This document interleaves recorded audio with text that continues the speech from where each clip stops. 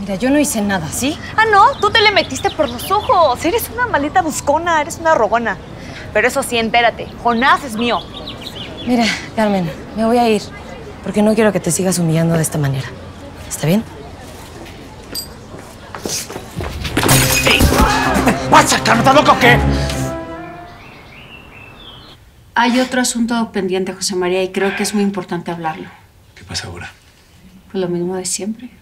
Jimena se está queriendo meter entre Romina y Salvador. Otra vez con eso.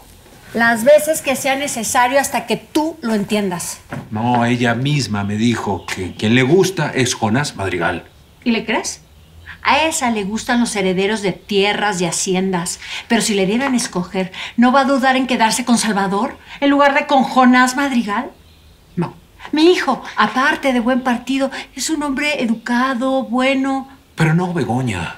Jimena no es así. ¿Y tú cómo lo sabes? A ver, tengo 21 años de conocerla. Los mismos que ella tiene de conocerte a ti, de saber tus debilidades y de hacerte creer que es una blanca palomita, pero la verdad es que es un cuervo que te va a sacar los ojos. Deja de hablar mal de ella. Jimena no haría nada para lastimarme. Soy muy importante para ella. En eso estamos de acuerdo.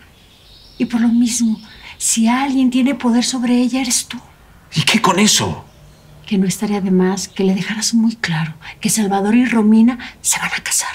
Lo que me pides es ofensivo y no lo creo necesario. Pero yo sí. Por favor, habla con ella. Dile que no se meta con Salvador. A ella le gusta hablar claro, ¿no? Sí. Bueno, pues entonces yo no entiendo por qué se va a ofender si tú le hablas en su mismo lenguaje. Ah, Está bien, mujer. Gracias. Le quitas a una madre un gran peso de encima. Estoy muy desesperado, Jasmine. Me quiero salir de aquí, pero va a ser muy difícil. Bueno, yo hablé con Eduardo. Sí, bueno, para pedirle que intente convencer a su papá de que retire los cargos. Jasmine, te dije que ya no te le acercaras. Bueno, sí, yo sé, Salvador, pero eres mi hermano. Y lo único que quiero es ayudarte. Además, Eduardo es todo lo contrario a su papá. Es divertido, sincero. Me quiere. ¿Qué es lo que te pasa con él, eh? Nada, ¿cómo crees? Nada. No, bueno, nos estamos conociendo, pero a escondidas. Que justamente no queremos, no queremos tener problemas, ni ser juzgados por nadie. Entiendo. Además, de por sí mi papá no le tiene confianza, menos se la va a tener si se entera que nos estamos viendo. Es que no te le puedes acercar a él. Es un madrigal y es peligroso, Jasmine. Te equivocas acerca de él. Pero bueno, de todos modos, te pido, por favor, que no le digas nada de esto a mi papá. Por favor. Está bien. Lo prometo. Está bien. Gracias. Oye, ¿te puedo pedir un favor? Sí, claro. ¿Le puedes decir a Jimena que si puede venir, que tenemos una plática pendiente? Una plática. Sí. ¿De qué? ¿Le puedes pasar nada más mi mensaje, por favor? ¿Qué te está pasando con ella, Salvador? Lo mismo que a ti te pasa con Eduardo. ¿Ah?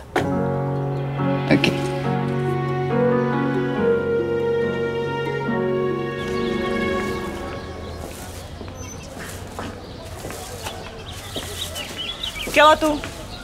¿Te acuerdas de mí? Sí, Carmen, ¿no? La no novia de Jonás. Soy su novia. Pues él dice que no, pero a mí que eso es cosa de ustedes. Ey, ey, ey, primero tú y yo vamos a cruzar unas palabras. Carmen, por favor, tengo mucha prisa, ¿sí? ¿Ah, sí? Y yo tengo mucha prisa que te quede bien clarito que Jonás es mi hombre y yo soy su mujer, ¿me entiendes? Su mujer en todos los sentidos y tú no tienes por qué meterte en medio. Carmen, la gente no tiene por qué enterarse que... A mí no me importa la gente, me importa un cacahuate. Lo único que quiero es que tú desaparezcas de nuestras vidas, maldita buscona, porque desde que tú llegaste todo está mal.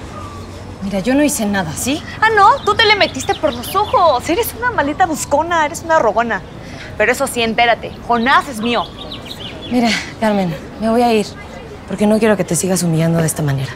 ¿Está bien? Pasa, Carmen? ¿Estás loca o qué? Jimena. Jimena, ¿estás bien? Jimena. Jimena. Jimena, ¿qué pasó? No sé, sabes que sí estuvo fuerte. Necesitamos ayuda. A ver, Jimena. Jimena. Jimena, despierta.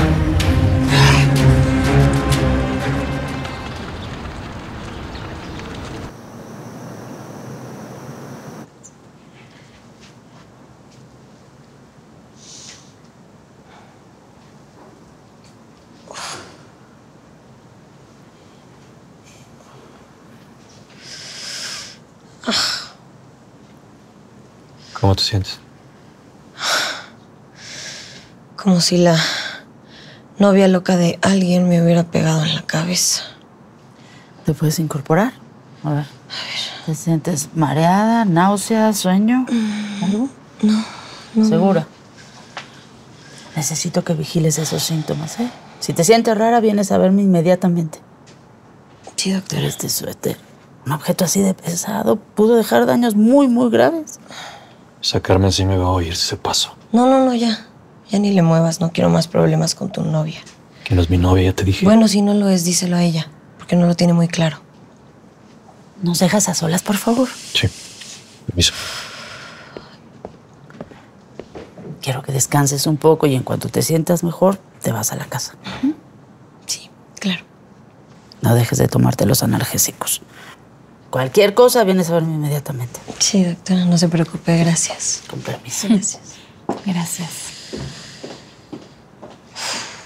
Le voy a avisar a mi papá lo que acaba de pasar. No, no, no, no, Jazmín. Por favor, no le digas nada. No, no fue nada grave y no quiero que se sobresalte. Bueno, Gracias. pero ya ves, ahí están los resultados de que te juntes con Jonás Madrigal. Eso es cosa mía. Como gustes. Por cierto, mi hermano me pidió de favor que te dijera que fueras a verlo. Nada más te voy a pedir un favor. No lo lastimes. Sea lo que sea que esté pasando entre ustedes, Jimena, no le hagas daño, ¿sí? Salvador tenía una buena relación con Romina hasta que tú llegaste. Si realmente quieres a mi papá como dices quererlo, no lastimes a Salvador. Es que él y yo no. Mira, no me respondas nada. Solo piénsalo.